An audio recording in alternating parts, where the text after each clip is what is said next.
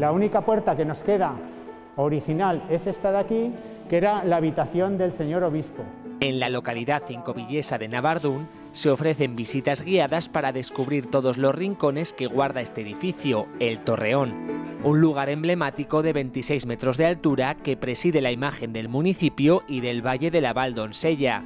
Este torreón eh, pertenece a un palacio episcopal, que es el palacio episcopal del obispo de Pamplona, y lo construyó en el siglo XIII aunque eh, presenta mm, parte de la tipología gótica del siglo XIV. El obispo de Pamplona se vino a refugiar aquí del rey de Navarra, que lo perseguía, vamos a decirlo así, y aquí en Aragón, en Navardún, que era de su propiedad, encontró un lugar para construirse su nuevo palacio y así refugiarse.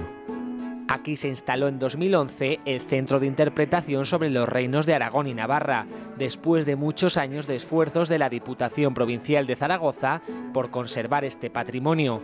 En los años 90 eh, la Diputación lo adquirió y hizo varios estudios y comenzó su restauración en el año 2000. Para el 2010 se musealizó, pero en 2017 la Diputación decidió abrirlo con un horario continuado. Un destino turístico dentro de la provincia de Zaragoza que ha sido escogido por algunas familias aprovechando la reducción en las restricciones de movilidad.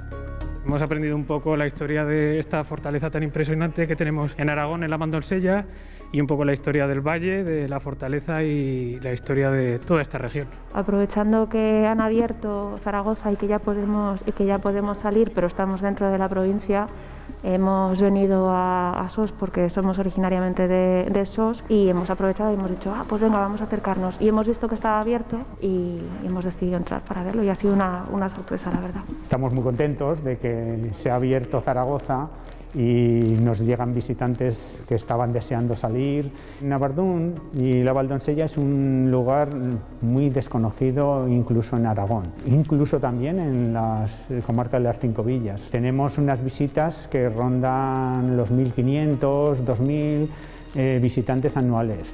Una cifra que Navardún espera aumentar con la apuesta actual de los aragoneses por el turismo local.